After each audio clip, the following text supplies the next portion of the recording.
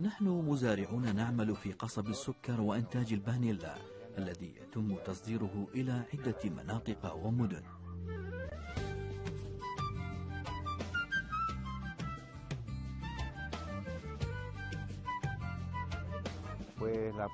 الفانيلا منتج سكري يمكن إضافته للقهوة والمشروبات أو حتى تناوله مع الماء فقط.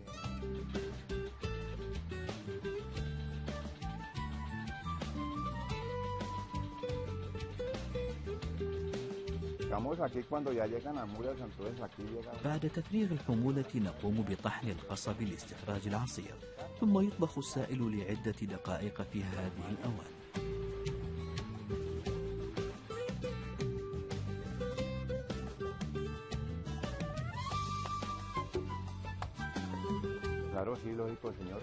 الفانيلا مهمة جدا في كولومبيا ولها استخدامات عدة في الطهي والتحلية ولها فوائد طبية أيضا.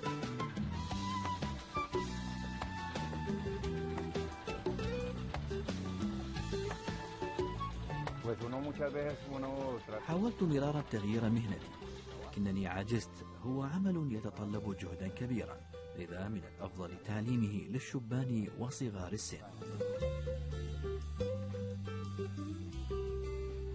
Mi nombre es Vitaliano Potes, tengo 34 años. أعمل في هذا المجال منذ 15 عاما. نصف عمري تقريبا. الفانيلا هو كل ما أملك.